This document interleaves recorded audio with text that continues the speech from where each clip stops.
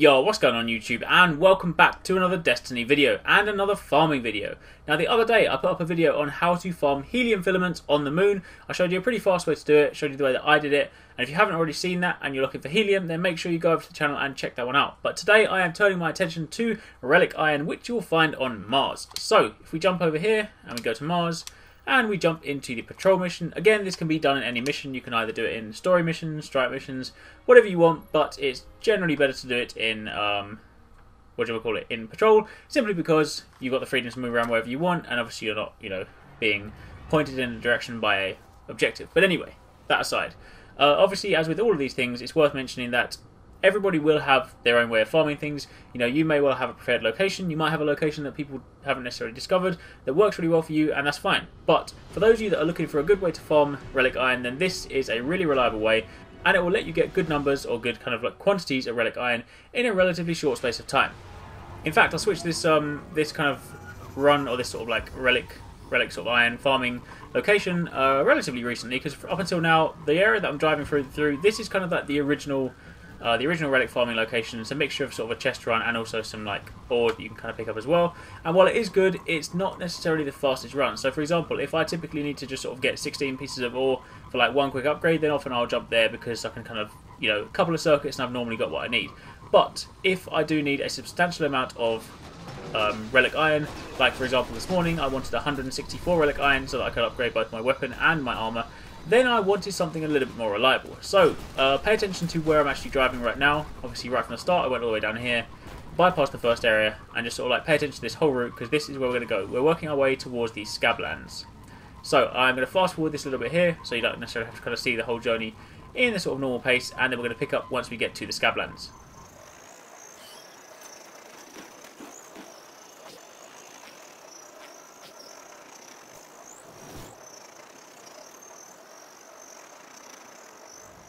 Right, and here we are at the Scablands, and what you see in front of you is a Cabal stronghold.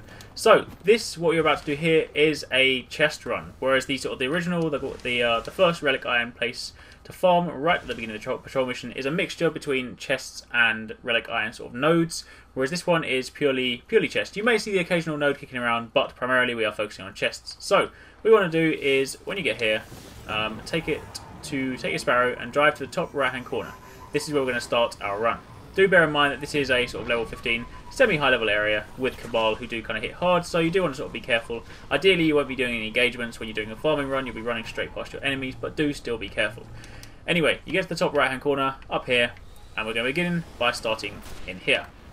As with the uh, the helium filament run that I did, uh, and when it, obviously we went into caves, typically anytime you go into a cave you can find a chest. Well, these are effectively your caves, only this time they're like dark rooms. So we begin in here, you run in here, check every single side, you know, different corners and whatnot. The chest will either spawn on the left or the right. Either way, it's not there for me at the moment, but do bear in mind it works in a rotation. So if you haven't seen it now, it doesn't necessarily mean it won't be there next time.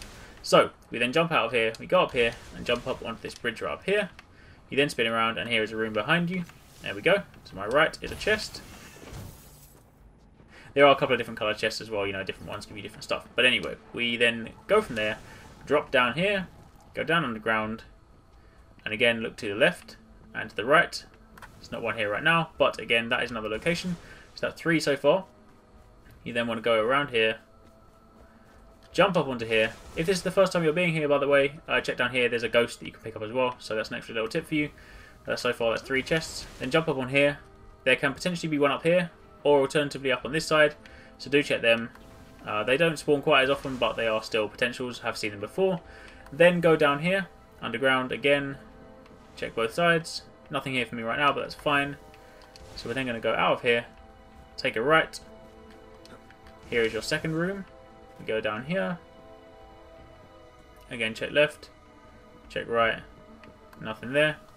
Do bear in mind, obviously, there are other people around as well, so they may well be doing the run in the opposite direction, which means we might well be overlapping each other. But anyway, either way, you then come out of there and you run down towards this side, and you then go into this third one.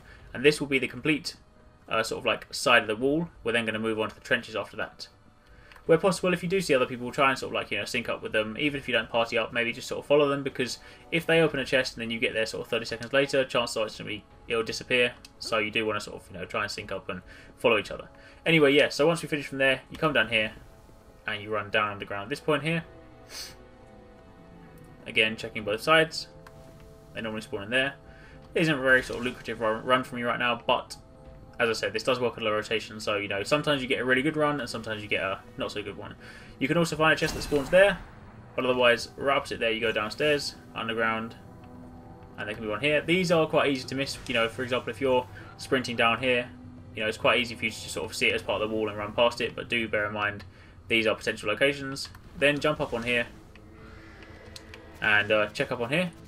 You can have a chest that spawns here. Uh, there was actually one, I'll, in fact I'll switch to a clip in a moment so you can kind of see there is actually one that does spawn up here. It's not quite as common, so you know, doesn't really, it's not there that often, but do still check it anyway. While you're doing your run, doesn't hurt to look around.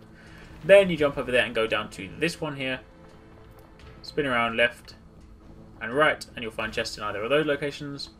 You come back up here, you then run through again, alcove there for a chest, room down here, so we check over this side, and then we come back out again, you run forward, and this is the last sort of stretch of our run.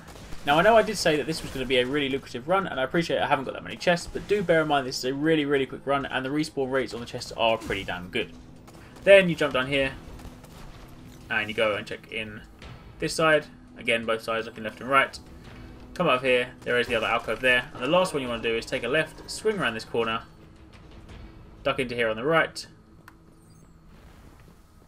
check both sides, there we go, there's a chest there and then we begin our run again. Now, I appreciate that in the process of showing you this, I only actually opened up two chests, so me saying, oh, this is a really good run, doesn't really sort of do it justice, but do bear in mind that A, we did see a person running around who's going the opposite way to me, so chances are if he's running this route backwards, then he may well be finding the chests, and by the time I get there, they may have despawned, so that's why I said it's important to either sync up with people, or, you know, at least try and sort of you know, follow them and whatnot. So either way, you then go back into here and begin your run all over again. So I'm just going to go and do one more pass on this without sort of, you know, talking too much. You can kind of see how fast you can actually do it. Obviously, I slowed down while I was sort of like showing you where things are, but ordinarily, provided I don't miss that jump, ordinarily you can do this pretty fast. You know, the whole run will sort of take you, well, you know, like two, three minutes, something like that. So I'm um, just going to kind of zip through this just so you can kind of sort of see it in action, just to kind of see how I would do it normally without, you know, stopping to sort of look around. And then I'll uh, pick up with you in one second.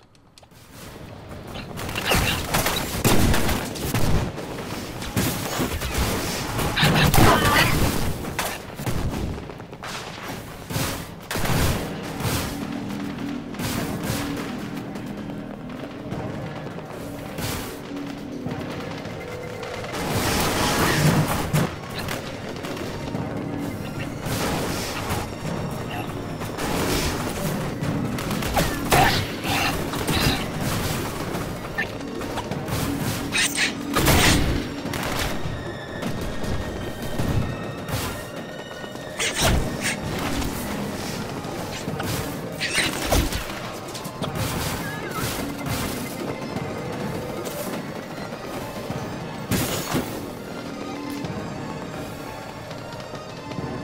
And there you have it. That is just a quick sort of speed run through, just so you can kind of see how quickly and efficiently you can run through and get all those chests. But that is the way that I have currently and for a while been gathering relic iron. As I said, there are different ways or different like, kind of locations you can go to on the Mars, on the Mars, sorry, on the planet, uh, the planet Mars. So obviously, find whichever one works for you and whichever one you know you prefer. If you do find that this area is potentially sort of too high level, you can obviously go to other ones that are potentially not quite so busy, but either way, this is the way that I find most lucrative because the chests do respawn relatively well. And obviously, if you don't see them your first time around, normally you'll find that, as you just saw in the video, my second run was a lot better than my first one. So, this is the way that I've been doing. So, hopefully, you found this helpful. And if you did, as always, don't forget to give it a thumbs up, hit the like button, and show your support. That does really help me out. And obviously, don't forget to subscribe for daily gaming videos. Drop a comment down below and let me know what you think of this farming run. Maybe you use it already, or maybe you've got something better. But either way, it'd be kind of really cool to sort of see what you guys think. And as always, thanks for watching. Take it easy. Catch you next time. Peace out.